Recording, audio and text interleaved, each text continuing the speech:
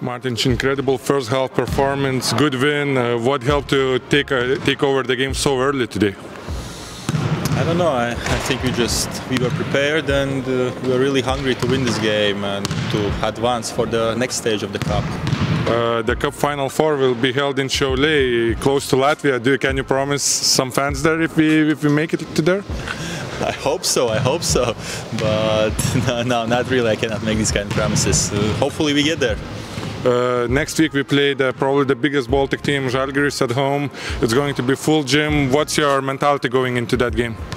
Well, we have to protect our house first of all, and uh, we'll see how it goes. And for sure, maybe maybe we can you know surprise them.